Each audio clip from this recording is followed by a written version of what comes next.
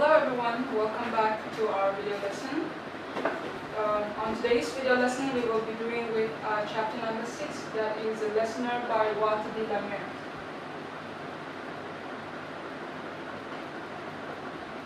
This poem which we're going to study now or learn now, um, there is misery, suspense in this poem, a kind of airy atmosphere in the poem. So what makes this poem I kind of feel like that? Let's look into the poem. We'll go straight with our poem. Is anybody there? said the traveler, knocking on the moonlit door, and his horse in the silence champed the grasses on the forest ferny floor. So through the four lines, through the first four lines, we get to know that there is a traveler. There is a traveler, and this traveler knock, knocking on the moonlit door. And we also get to know that there is a house.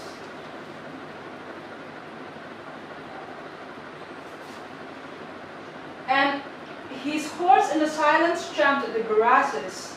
And the traveler is on a horse.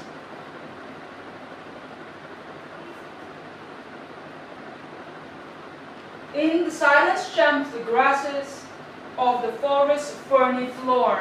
Through the first four lines, we get to know that there is a traveler and he is outside the house. He knocks the door with the moonlight reflecting on the door. And this traveler came to that house and he asked, he knocked at the door and asked if anybody's inside that house. While the traveler asked that question, his horse is like uh, eating or chewing the grass of the forest floor that is on forest floor. And the bird flew up out of the turnet above the traveler's hat and he smote upon the door again a second time. Is anybody there? He said. So when the traveler first knocked at the door, he did not receive any response to his calling or to his knocking. Instead of respond to his calling or to his knocking, a bird flew out of the turnet above the traveler's hat. So he knocked again for the second time to the door, this time louder, louder than the first one. He knocked again for the second time and asked the same question if there is anybody inside that house. But no one descended to the traveler, no hat from the leaf-fringed seal, leaned over and looked into his gray eyes where he stood perplexed and still. When the traveler knocked the door for the second time still, he did not receive any response. No one responded to his call, to his calling and to his knocking, and there were no hat in the sill of the window covered with the leaves from the trees in the forest. Leaned over and looked into his gray eyes, but through this we get to know that there is someone hearing the voice of the traveler, but choosing not to respond and staying silent, but they choose to stay silent. And they were leaning over and looking into the gray eyes of the traveler. And the, gray, the eyes of the traveler may be gray because of the reflection of the moonlight, or maybe the point used to present the confusion and the atmosphere that surrounds the traveler. But only a host of phantom listeners that dwelled in the lone house then stood listening in the quiet of the moonlight to that voice from the world of men. So, no one responded to the travelers knocking, but we the readers, we get to know that there are someone living or dwelling in that house, living in that house, occupying that house. So it is those beings, those creators that looked into the gray eyes of the traveler. And those beings, they are the phantom listeners, the host of phantom listeners, and they were the one living in that house, and they were standing in silence, listening to the voice of the traveler calling to them outside the house.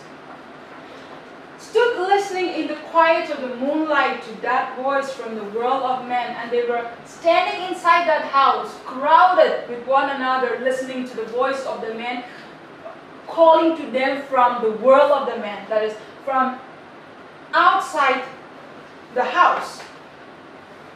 Stood shrugging the faint moonbeams on the dark stair that goes down to the empty hall, hearkening in an air scared and shaken by the lonely traveler's call. Despite them hearing the voice of the traveler, they tend to remain silent. They choose to remain silent. And they were standing crowded in a staircase that comes down to the hall of that empty house. With the moonlight falling over the stair, they were standing and standing crowded with one another, listening to the voice. And the voice of the traveler disturbed that empty hall, fills that empty hall. And they were listening to that only traveler's call. And he felt in his heart their strangeness, their stillness answering his cry, while his horse moved cropping in the dark turf neath the starred and leafy sky, for he suddenly stood on the door even louder and lifted his hat. Okay, we'll stop here for a while and he's now when he knocked on the door and asked if anybody is there inside that house. He did not receive any response to his calling. It was complete silence. It was a silent, a silent response to his calling. So he started to feel that airy atmosphere. He started to feel the strangeness in the silence to his calling. So he started to feel that that strange atmosphere. While the traveler feels that strange atmosphere, his horse was moving and then like grassing itself on that dark turf, dark grasses underneath the sky that is full of stars yet covered with the leaves of the forest. So when he felt that strangeness, he suddenly knocked on the door, this time even louder, and he there he lifted his hat, and he wants those listeners, whoever is listening to his voice, to give this or to convey this message. And he says this message Tell them I came and no one answered, that I kept my word, he said. And this is a message that the traveler wants the listeners to convey to who wants to live in this house. Maybe there once live fellow being in this house, and maybe this traveler came to fulfill or to keep the promise which he must have made to the inmates that wants to live in this house. So he wants the listeners to convey that message. And he says that he came and he kept the promise, but no one answered to his calling or no one answered to his question. Never the least dared made the listeners, though every word he spake fell echoing through the shadowiness of the steel house from the only man left awake.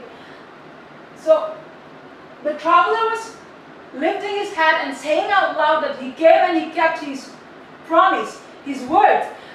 And that voice, that words, that sound of the traveler fell into the empty house, covered with shadow.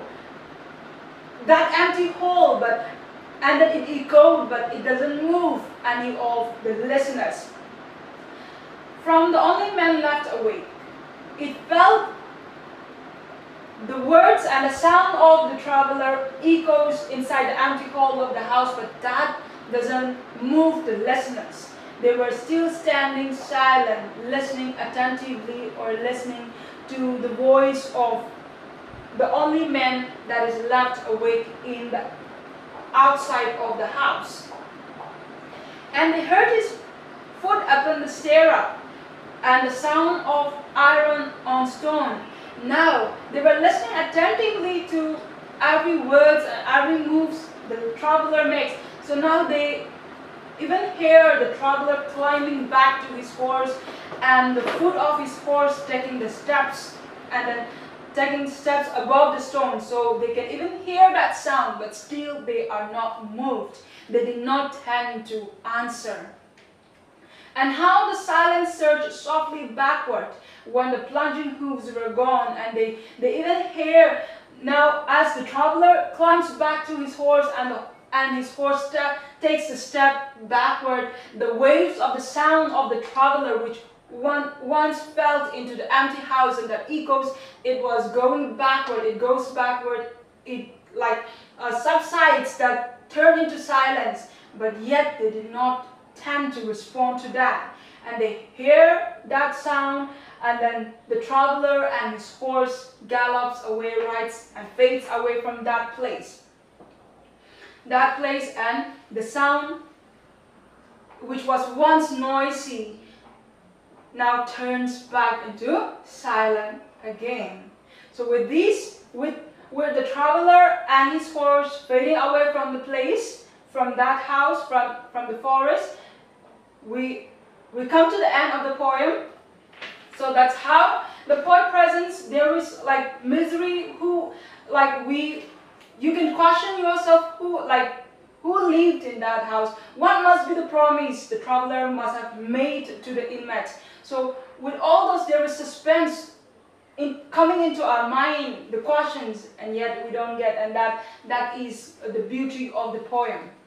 With this, we come to the end of the poem. I hope this short explanation helps you.